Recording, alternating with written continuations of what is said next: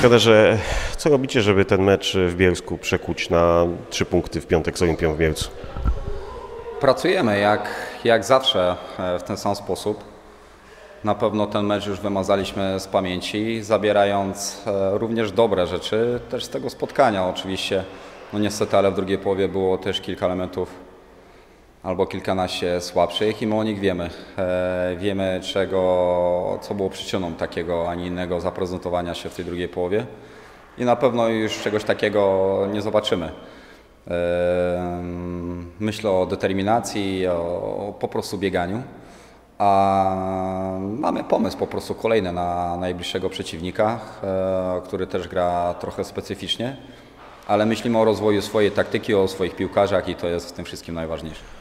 No tak, rozmawialiśmy, e, zanalizowaliśmy też ten mecz i mm, błędy, jakie sme zrobili, ale e, je potrzebne się z tego pouczyć i o, najlepsza możliwość e, to poprawić jest e, teraz piątek, bo jest następny mecz i, i mam nadzieję, że pokażemy ten nasz dobry e, wikon. Żyro y, na ławce rezerwowych w Bielsku.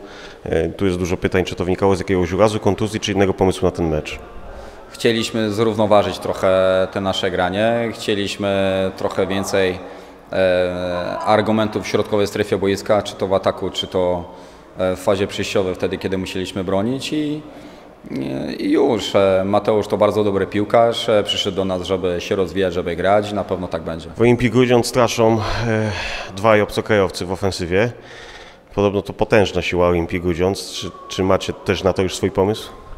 Tak, to bardzo dobre jednostki. Hajdary już 4 bramki, Alves 3, Olimpia strzeliła ich 9, 7. E, Oni indywidualnie napędzili zespół i nie tylko oni, ale też e, Hanslik czy Łukowski. To, to są e, dobre personalia e, w ataku. Oni zrobili awans i czują się dobrze w tym swoim graniu, ale myślę, że na pewno przyjeżdżając do nas myślą o tym, jak nas zneutralizować i niech to jest dla nich problem.